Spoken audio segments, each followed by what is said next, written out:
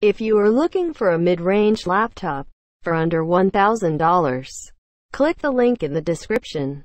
This laptop comes with an i5 10th generation processor, a solid state drive, 8 GB of RAM, and Windows 10 at a reasonable price.